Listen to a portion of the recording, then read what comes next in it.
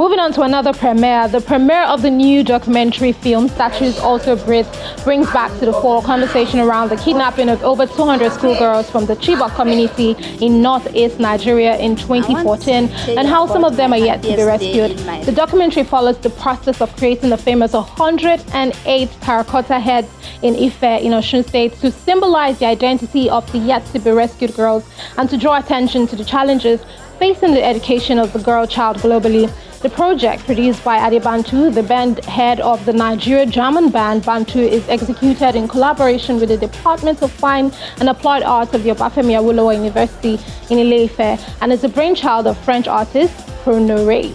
Take a look. Means head. This head is now going to the history of the nation itself.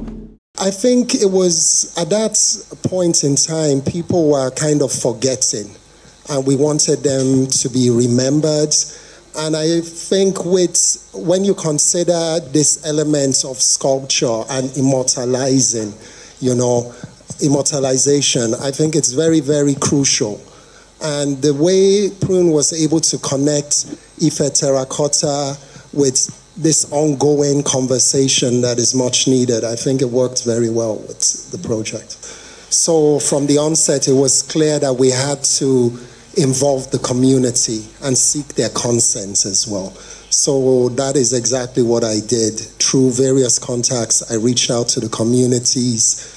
Uh, it's not one community because they are communities and in consultation and with their consent, we went about the project. With marauders, we're dealing with bandits who just come and capture people.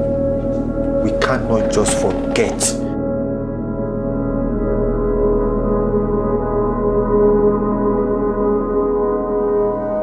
These are the moms of the women, our sisters, who were taken, who were kidnapped when armed men stormed the school. It's been eight years, and their babies are still gone.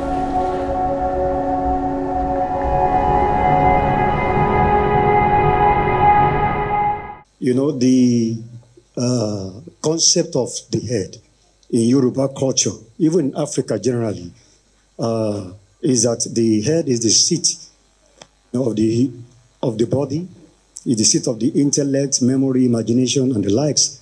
And so it is accorded, you know, such importance. So when Pro mentioned the fact that uh, she went to explore Ife heads to represent Awusa Kanuri, you know, Chibok people, it was like, uh, is that possible? Then she explained. So I believe that, uh, you know, whatever the Chibok community or the uh, northeastern Nigeria and the likes are facing, you know, every other part of the country is also facing similar thing.